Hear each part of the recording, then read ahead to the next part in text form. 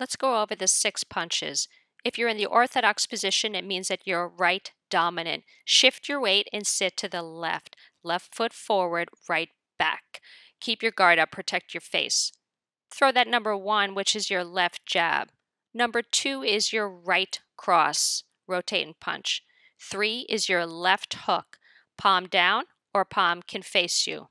Four is your right hook, palm down, palm faces you, elbow is always high. Five is your left upper, palm faces you.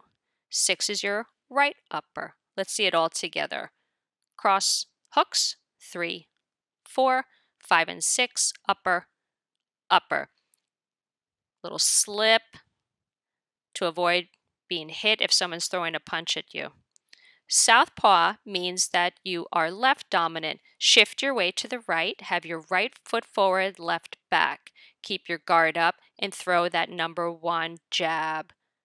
Number two is your left, that's a cross. Three is with your right hand, and that's a hook.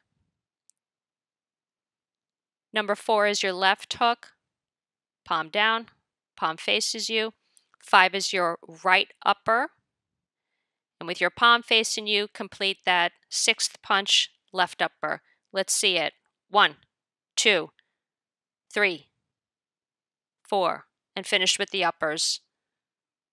Let's see some slips. Upper body moves on that, not just your head.